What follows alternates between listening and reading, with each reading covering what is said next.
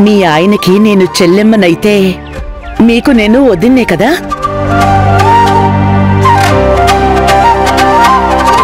వడ్డించడానికి మీరు మొహమాట పడుతున్నారు.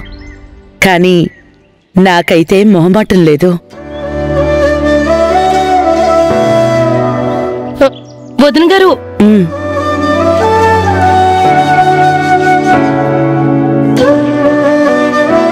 అది కాదు వదిన గారు.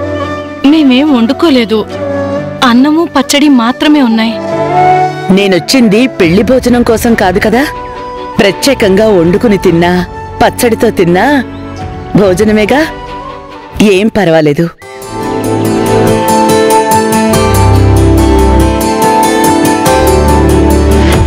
అది కాదు చెల్లెమ్మ. మొదటిసారి మా ఇంటికి వచ్చావు పచ్చడి మెతుకులు పెడితే మాకు మర్యాద ఏముంటుంది? ఒక్క అరగంట ఆగితే మంచి భోజనం చేయొచ్చు. తులసి నువ్వు వెళ్ళి ఏదైనా పిండి వంట చెయ్యి ఈలోగా నేను వెళ్ళి కూరగాయలు తీసుకొస్తా. ఆ, ఏం వద్దన్నయ్యా ఆ, అది కాదమ్మా. ప్రేమతో పచ్చడన్నం పెట్టినా అది పరమాణంలాగా రుచిగా ఉంటుంది. ఆకలేస్తోంది. తింటాను?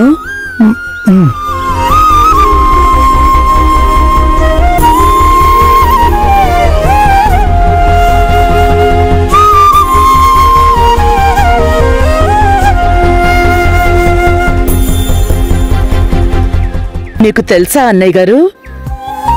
మా కోడలు పిల్ల చేపల పులుసు బ్రహ్మాండంగా చేస్తుంది.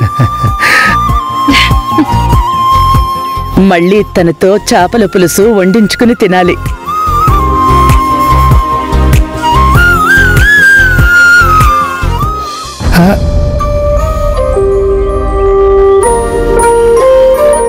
కారంగా ఉంది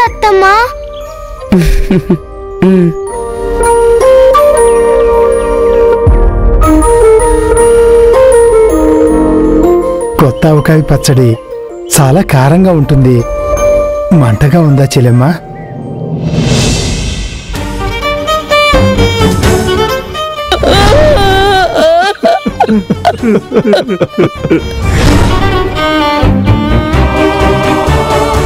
కన్నయ్యా కన్నయ్యా!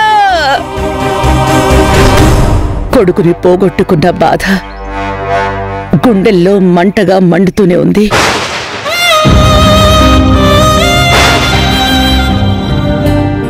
మంట కన్నా ఈ మంట ఎక్కువేం కాదన్నయ్య గారు.